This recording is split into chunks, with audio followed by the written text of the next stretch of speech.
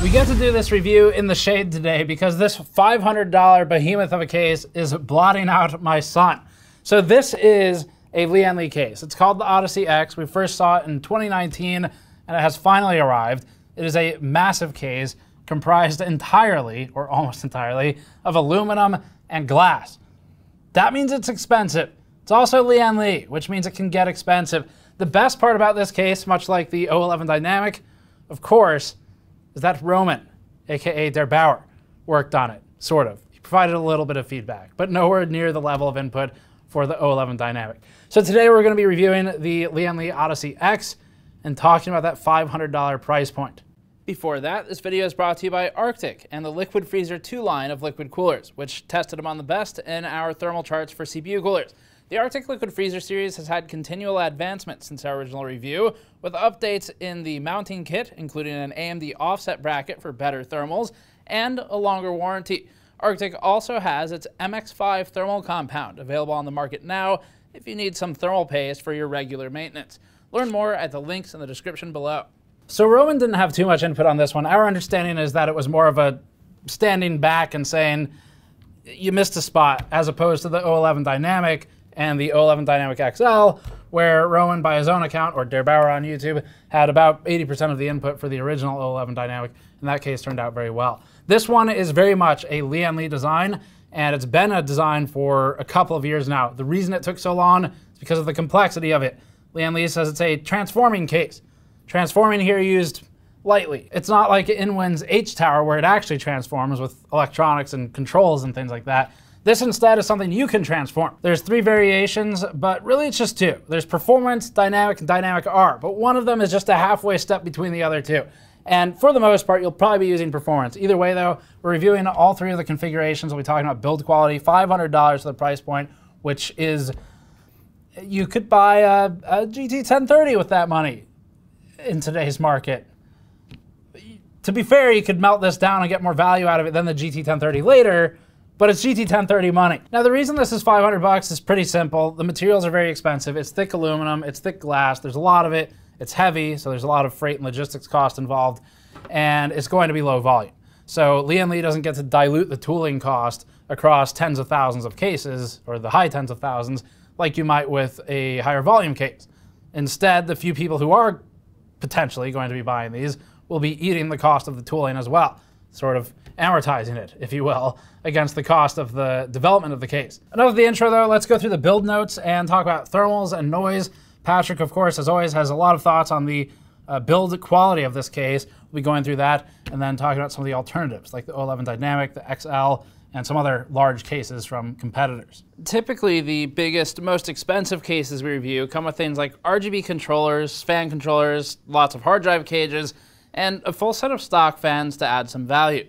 The Odyssey X's stripped down no frills package is closer to the Case Labs approach, but without the blunt functionality or customizable options which justified the Case Labs approach.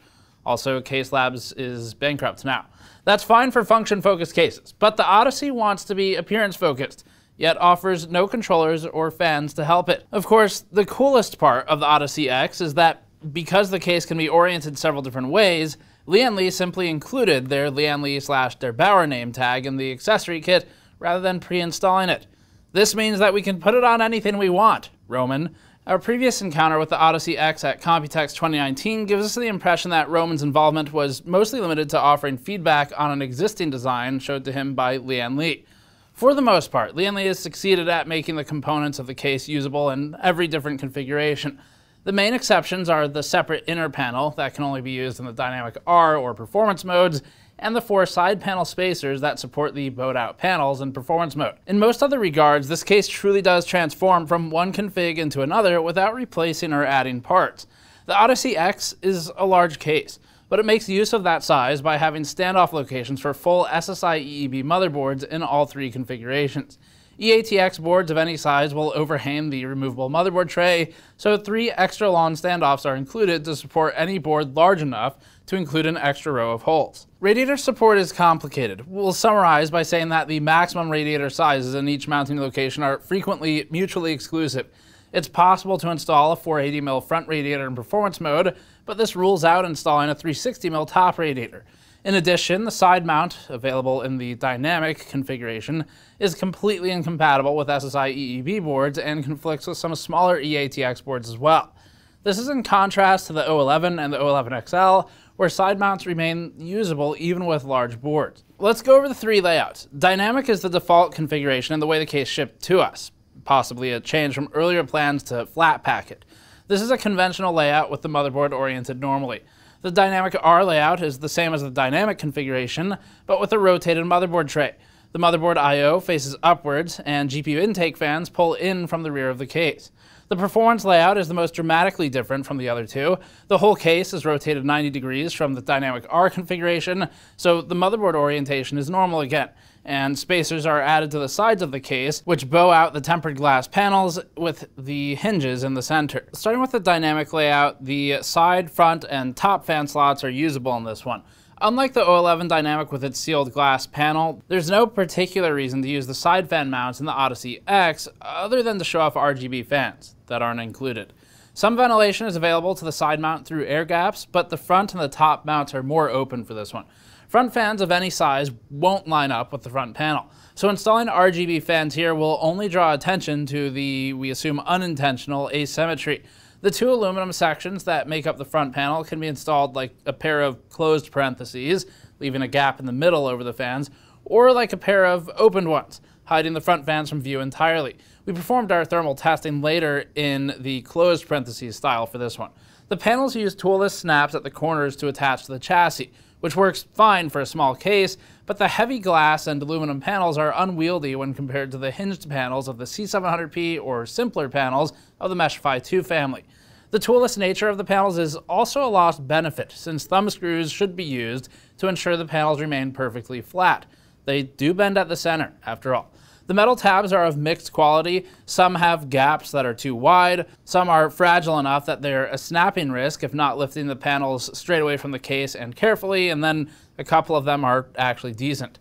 Cable management is excellent overall, with deep built-in tie points that can contain large cables like 24 pin. The tie points are removable but not repositionable, a missed opportunity for Lian Li for its transformable case, and the power supply shroud is a half shroud, large enough to contain any cable slack, but open-ended and small enough that it shouldn't be a major obstacle to airflow. The shroud is also removable entirely, but there's no alternative for hiding cables. The rear of the power supply is supported by a rubber block with single-use adhesive strips in the accessory kit.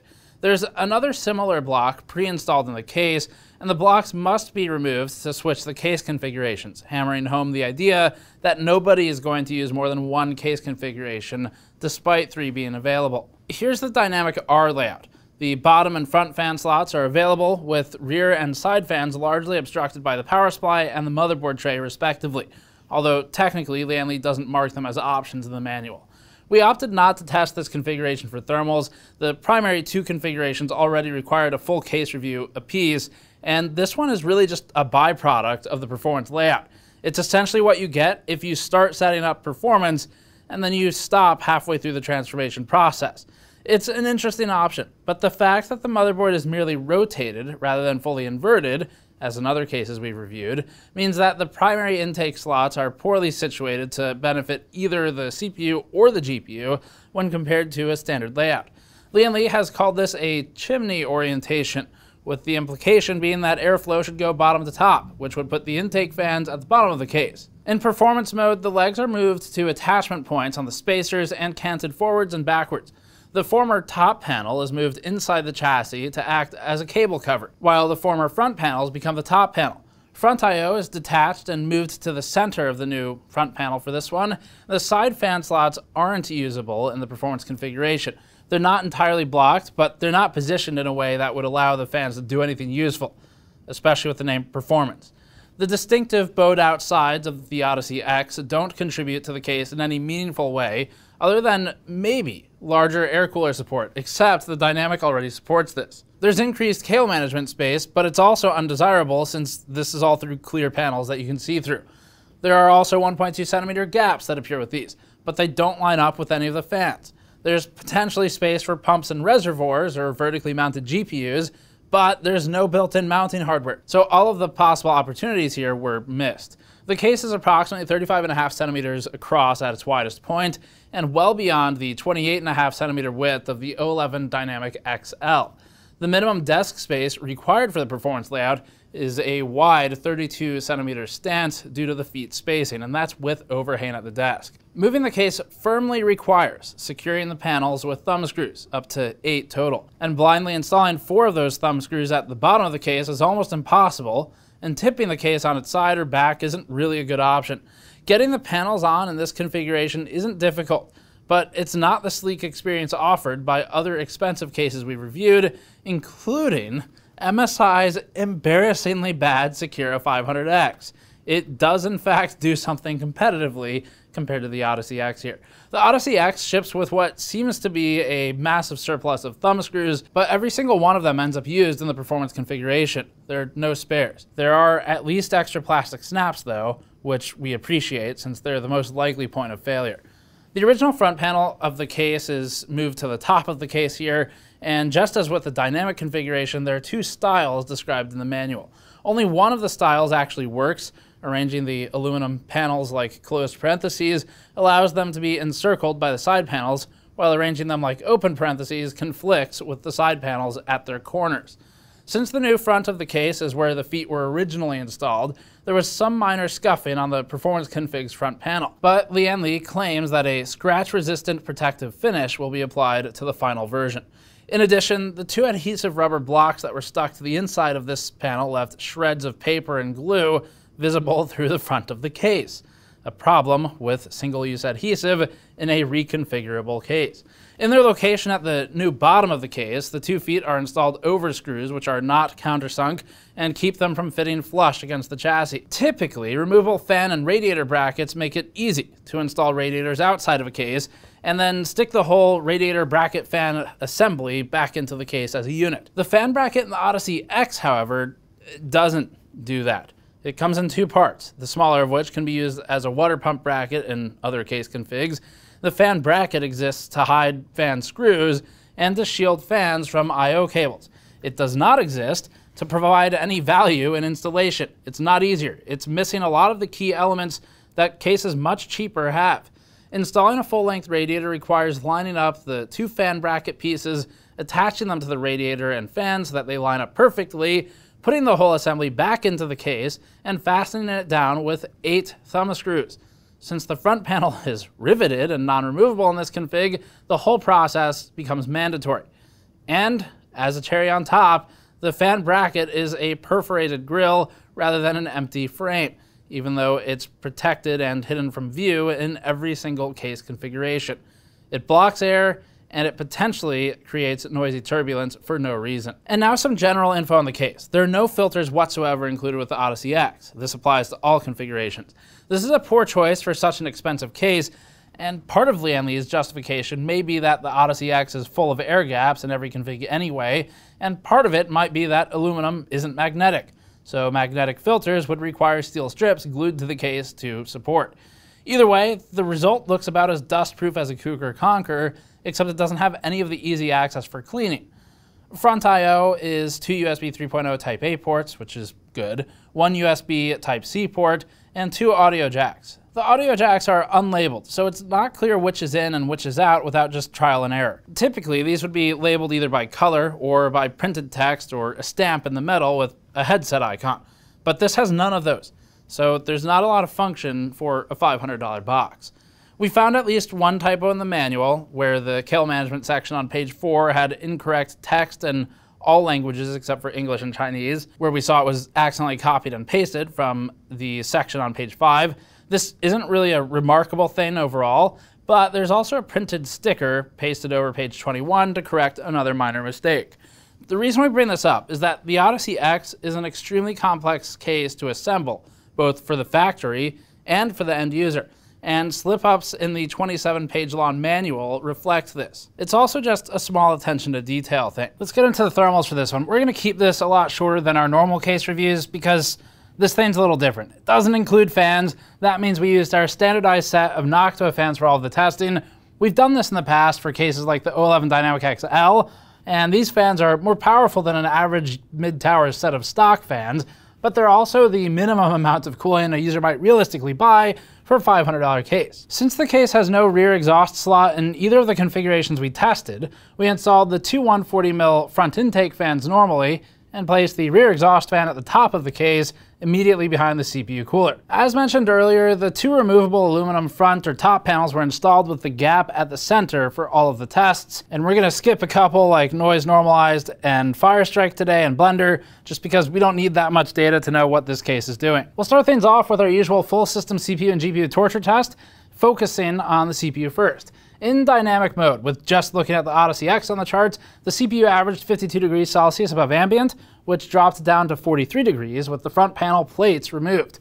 Installing or removing these plates had a huge effect on case ventilation, enough to actually audibly change the pitch of the fans, despite the fact that their only real purpose is to look good uh, and maybe keep fingers out of the fans or something. Moving to performance mode, the CPU averaged 51 degrees above ambient. This is a very small improvement for a configuration named performance especially since the front panel is not removable in this configuration. Performance actually has fewer fan mounting locations than dynamic, since the side mounts are unusable. So if the front panel isn't significantly better, there's not much reason to call it that. Comparatively, because the Odyssey X comes with no fans and its relative performance in this test is entirely determined by the fans we selected for it, we'll save most of the comparisons for the standardized fans chart coming up shortly. 51 degrees in performance mode is middling. It's around the performance of a TD500 mesh or a Meshify 2. Both of these cases have less powerful stock fans than the ones we installed in the Odyssey X, but they make up for it with good front panel ventilation. In the same torture test, the GPU averaged 61 degrees Celsius above ambient in dynamic mode, which dropped to 54 degrees with the front panel removed. We usually see less dramatic swings in GPU temperature since our test bench's GPU is still allowed to set its own clocks. So a 7 degree delta with the front panel removed is massive. We tried to space the two intake fans to cover as much of the system as possible, so that 61 degree baseline average was measured with a fan pointed directly between the GPU and the PSU shroud. This isn't the most restrictive front panel design we've ever seen, but there's something especially galling about a restrictive panel that's just clipped on for show, versus one that's built into the case and has filters in it. Even the ENSO can claim that much, and that case was terrible. In performance mode, the GPU averaged 58 degrees, a more respectable improvement over baseline than we saw with CPU temperatures. And moving on to the fuller chart for GPU, we'll again keep the comparisons brief here. The more favorable average of the Odyssey X entries scored in the performance configuration and is still at the hot end of the chart. It's just below outliers like the Bitfenix ENSO and the Walmart DTW case at 62 degrees each over ambient. If an air-cooled GPU is installed in the case, we recommend either installing enough intake fans to fill all of the front mounts or experimenting with negative pressure. Since we used our standardized fans for all the testing, the Odyssey X results for this section are the same as the torture results we just discussed. The comparison, though, is against a different set of data. It's with all the cases using the same fans. The dynamic mode's 52 degree CPU average beats the O11 XL's 54 degree average, but that's primarily because the XL has no front intake slots. So you either have to push off the side panel of the case from a side intake or do what we did and intake from the bottom. The large Enthoo Pro 2 scored 49 degrees here, better than both the dynamic and performance of the Odyssey X, while the Meshify 2 XL did better at 47 degrees average. We'll use the 58 degree performance config score for comparison on the other GPU temperatures. This still puts the Odyssey X at the hot end of the chart. The Enthoo Pro 2 and the O11 XL did especially well in this configuration, with averages of 45 degrees and 47 degrees each while the Meshify 2 XL's warmer average of 52 degrees is still significantly better than the Odyssey X. These three fans haven't been inadequate for cooling multiple other large cases that we've reviewed in the past, including the Enthoo Pro 2, Meshify 2 XL, and O11 XL, and those cases can all be configured to fit SSI EEB boards too. So then for the Odyssey X, the, the oddity of the Odyssey is the three configurations where you're, again, probably only using one of them. It's likely going to be performance and paying this kind of money for a gimmick, functionally, is always hard to justify. This is not a value purchase by any stretch, but the odd thing is, it's also not really a Halo purchase. It's not a top tier marketing product because this doesn't market well. It's not like a, a high end CPU or GPU where people go, I want that. Let me see what else that company makes. That's cheaper. This instead is probably more likely to turn people away from Lian Li than it is turn them towards it. And so the better halo or marketing product for Lian Li to push in front of people has been and still is the O11 Dynamic series. That'd be the O11 Dynamic Original, about 130 bucks plus or minus depending on the, the supply, and the O11 XL. To be clear, we don't think Lian Li is ripping anyone off or gouging anyone at $500 because the price is probably fairly easily justified purely in terms of the bill of materials cost. We don't think they're making high margin on this. It's not like a 3080 Ti where you have infinity margin for basically nothing in return. This instead uh, is something you're, you're paying for the engineering, you're paying for the low quantity, and you're paying for the materials, but you're not really getting that return in most instances, we think. So $500 is not a cash grab, but it's also not worth it as a customer, and that's really what matters here. We've had high praise actually for other cases that do the delicate balancing act of different configurations. The Cooler Master H500M, for example, had swappable mesh or glass front panels and buyers of the H500M end up forced to pay for all those swappable parts, even if you only ever use one set of them. So Lian Li does get a lot of praise on this one specific category of being reconfigurable, and that is the ability to reconfigure this but use effectively all of the parts in any of the configurations so you don't end up with a cardboard box full of parts that gets shoved in the attic until you sell the thing. So that's good. There's not as much waste of materials for something that most people won't use more, well, really ever. You probably configure it once, that's it. Maybe one more time later in life. But the H500, as the counterexample, H500M, uh, you do end up with a box of parts. You end up with drive cages or panels or things of that nature. And so the engineering work here on the Odyssey X is good, but we, we can't justify the price. On top of all of that, two of the three configurations are unexciting. The dynamic configuration makes the case look like a normal mid-tower, but it costs $500 just the same. Lian Li itself makes multiple better mid-towers that are vastly cheaper, have superior performance, and arguably, although this is subjective, look better too.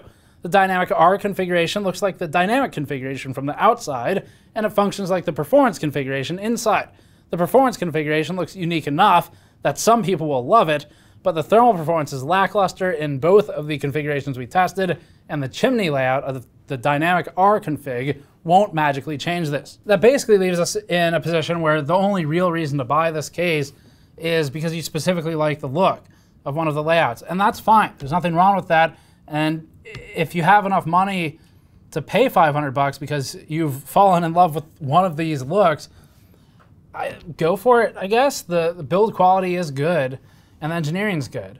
Uh, and certainly some people are in a position where that's enough and 500 is justifiable. But by and large, you should buy a different case. For most of you out there watching this, uh, the O11 Dynamic, if you want Lian Li, is a fantastic case and is a strong performer today. The O11 XL, if you want a larger one similar to this, is that larger case. It fits SSI EEB motherboards in full, and you get bonus parts like open loop water cooling accessories you can purchase from first or third party uh, to expand it further. In terms of other options on the market, the Phanteks Enthoo Pro 2 was received pretty well in our review and is also a large case. And we'd also recommend checking out the Fractal Meshify 2 XL. Those cases plus the O11 XL are the ones that would instead get our recommendation in this category. You lose the gimmick, but you get a better case for it, in our opinion anyway. If you're still looking for suggestions after this, we have our best cases of 2021 so far roundup on the channel that pretty much covers all of the new players in the market and current relevant ones. So check that out if you need advice on things in a variety of price ranges, performance categories, objectives of the case, things like that. Otherwise, as always, you can subscribe for more. Go to store.gamersnexus.net if you'd like to pick up a shirt like this one, our PC shortage shirt, or you can go to patreon.com slash gamersnexus. As far as the Odyssey X goes, though, uh, it doesn't get a recommendation. So that's it for this one. Thanks for watching. We'll see you all next time.